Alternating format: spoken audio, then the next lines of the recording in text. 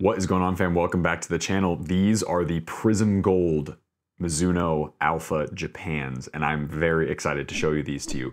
Funny story, they don't actually come in a box, which is interesting. So I'll tell you that story right now. Basically, what happened is, as you guys know, I've been working with Ultra Football here in Melbourne and uh, been very much enjoying the process there. Basically, they had their Mizuno rep come in.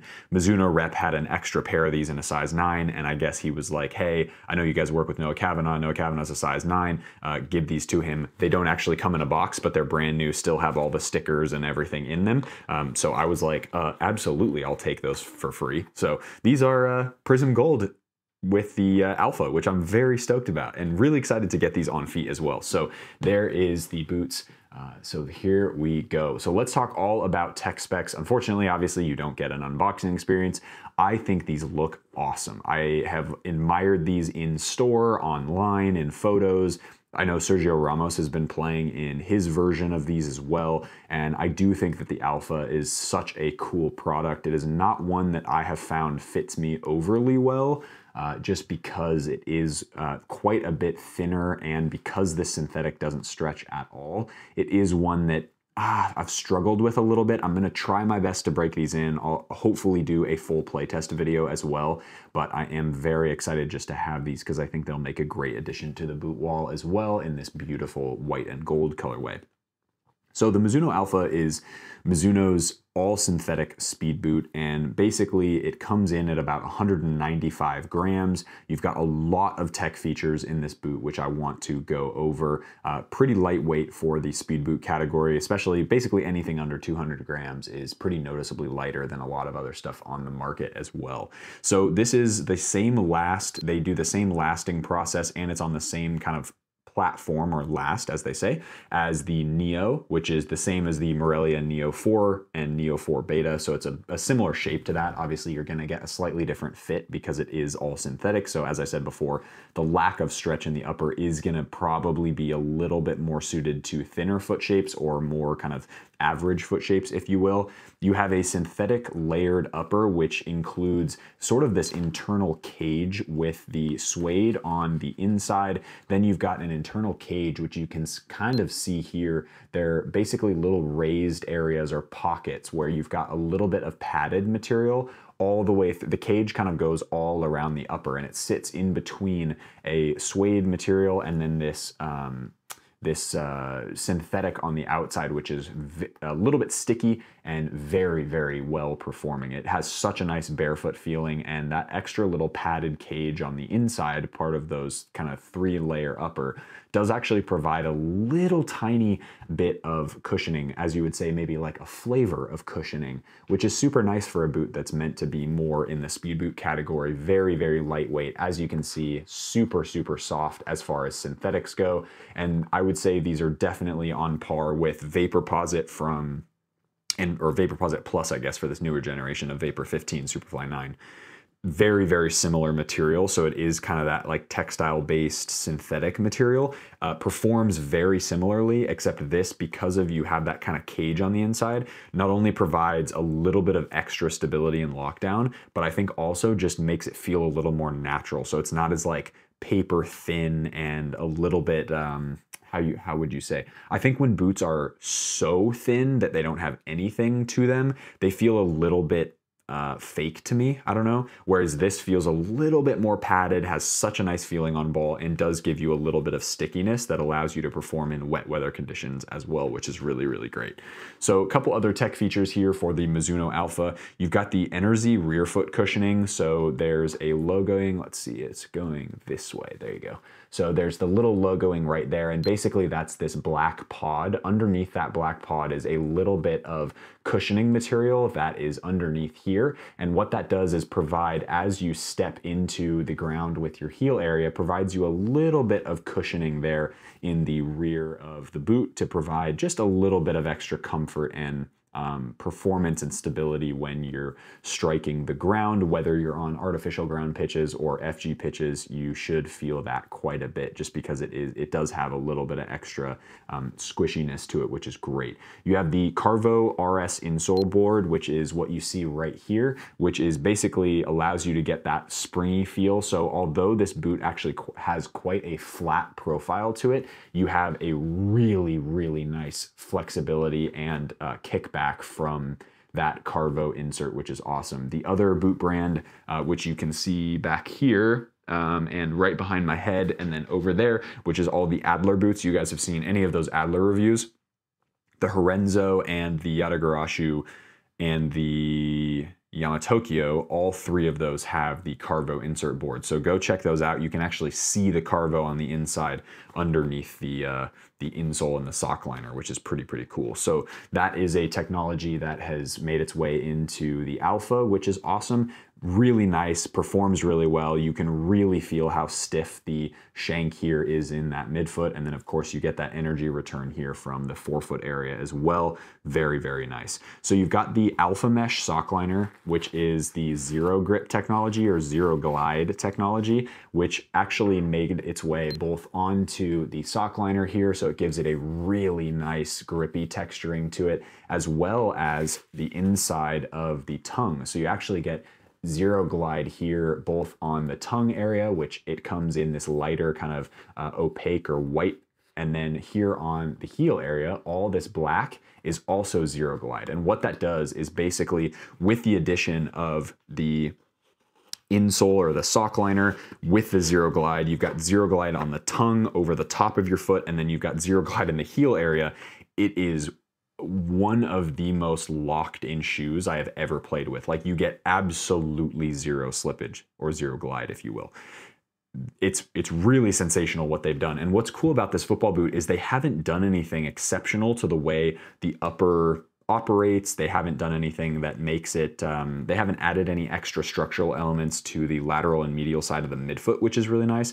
And what that does is it really provides uh, the ability to have a neutral and beautiful sensation on feet from an upper perspective, while also just adding very particular areas of grip where you won't really notice it, but you really, really do notice that it makes a it makes a change when you start cutting really hard, when you start sprinting really hard, because your foot is locked into the bottom. So there's no slippage front to back, side to side from uh, the bottom of your foot. There's obviously lock in with the heel area all the way, basically from this line all the way around the heel, and then you get the zero glide on top of your foot. So your foot is basically sandwiched in between zero glide on three out of four sides, or all three out of three sides, I guess. Heel, up, bottom, yeah you get the idea, but really sensational on feet. And if you haven't tried it, I would recommend just trying them on in store, or if you can order like two pairs and then return one from a website that are, you know, a lot of online stores are doing that nowadays,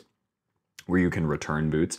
Because, um, yeah, so if you can try them on in any stretch uh, at any point, I would highly recommend it just to feel, even if they don't fit your foot that well, just feel the way that the Zero Glide operates because it really is something excellent and special, which I think is awesome. So that is uh, pretty much all the tech of the football boot. These are technically an FG stud pattern, but I find that the triangle studs down here really do provide a nice amount of grip both on FG and AG pitches. I would say that they're just fine for AG, although if you have an older AG pitch, I would probably recommend getting the AG model. These on FG work beautifully fine, and then on AG, they're, you know, if you have newer AG, totally cool, no problems at all, but the triangle studs do get a little bit aggressive if you have older or more worn-in AG models, or more AG uh, pitches, if that, if that makes sense. So that is the uh, that's pretty much all the tech features of the Mizuno Alpha. I'm really excited to try these on. They look incredible. Uh, one of my favorite boots of uh, all time in my collection is the gold and white pair of Phantom Venoms down there. Uh, obviously these being white and gold as well. I just think that color combo is so pretty, really, really nice looking, and I'm really excited to try these on.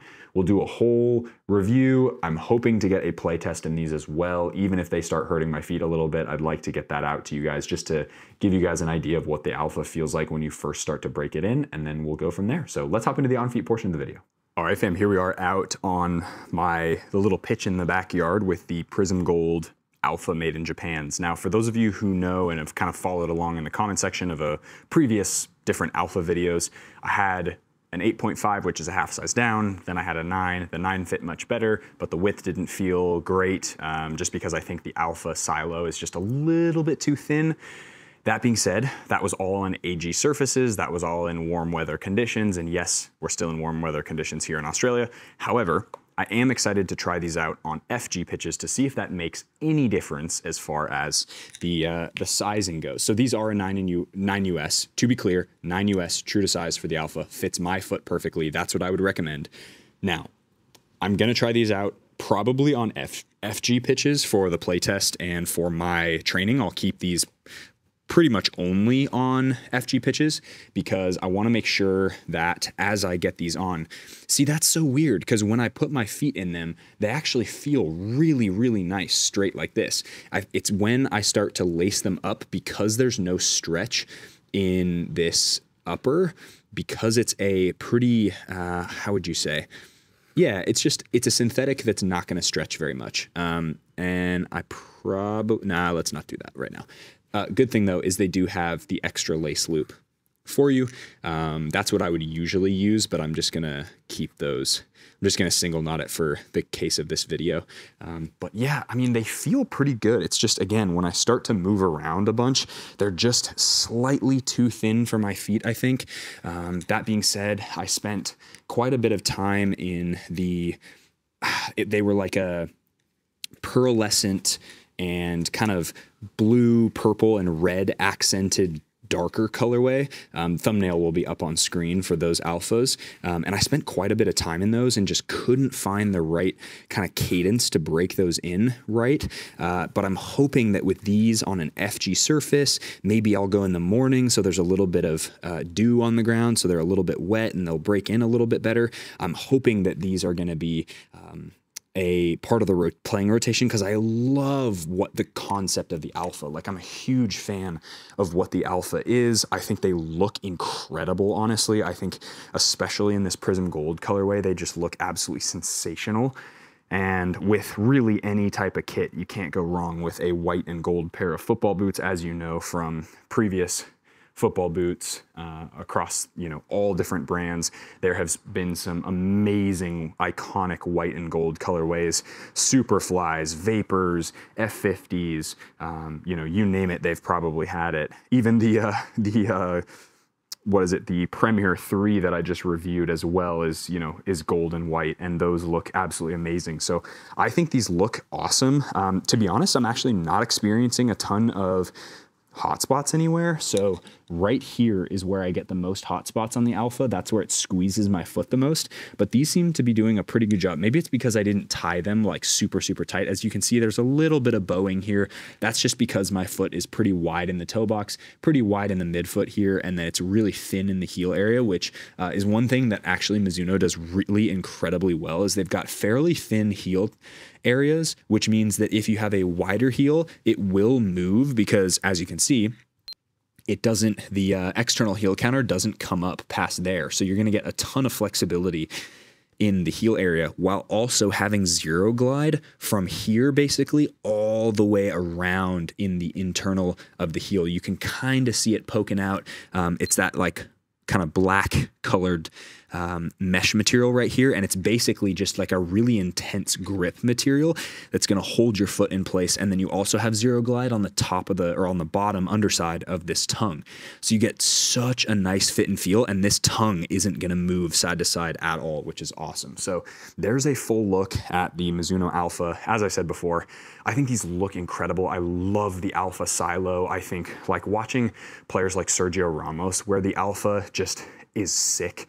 I just think they look awesome on feet and I really think more players who are in the market for, you know, the vapors, the crazy fast and stuff, go try an alpha because the alpha is like one of the best boots on the market, I think, from an objective perspective, like uh, like tech specs and objective. You know, you've got the Carvo on the inside, you've got the the crazy Zero Glide, which holds your foot inside the boot really, really well. You've got a sole plate that sits a bit more neutral and flat, but it's got that bounce back from that Carvo insert, which is amazing. And then you've got this incredible upper that's like um, a two or three layer upper that just sits right on top of your foot. Touch on the ball is super, super thin. It's one of the most barefoot feeling touches uh, on the ball, which is awesome for those of you who are looking for it, while also because of that internal cage that we talked about in the unboxing portion of the video, that internal kind of padding cage does actually give you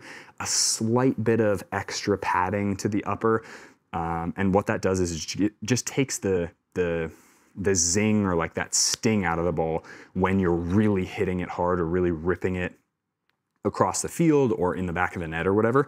Um, manipulating the ball feels awesome. The upper isn't super sticky, although it is a pretty shiny and pretty, it's not a matte material. So it's gonna be, it's not really gonna be sticky unless you're in really hot and really dry conditions. Um, but it is gonna give you a little bit of something so that when you're manipulating the ball, when you're, you know, doing any sort of skill moves or anything like that, you are gonna get that little bit of extra emphasis on that control and that touch. So I'm a huge fan of the Alpha. As I said before, I think if you're in the market for a speed boot, and you don't want leather, you want a synthetic, um, and you're in the market for you know, you're looking at the other, you know, sort of major brands, I think this is as good and or better than all the all the vapors, all the crazy fasts and stuff. Like these are just, I think these blow crazy fast out of the water. I think from a speed boot perspective, you know, if you like the idea of the Skechers SKX, then maybe that's a good idea. I think just from a quality perspective and stuff, I think these blow SKX out of the water. Um, one of my former teammates at um, Flower City, Stephen Elias, shout out Stephen Elias, fantastic player. Um, he wore the Alpha all year and absolutely swore by them, loved them. He wore the Alpha and the Morelia Neo 4 betas and kind of swapped back and forth between the two. And um, but alphas were his game boot for the most time, and he he swore by them. And I honestly think more people need to try these because they really are a fantastic fitting pair of football boots. Now, as far as the sole plate goes, as you can see, triangular studs that don't really have a lot of rounding. So if you notice, they're pretty sharp on the edges, which is going to be probably too aggressive for most people on AG surfaces.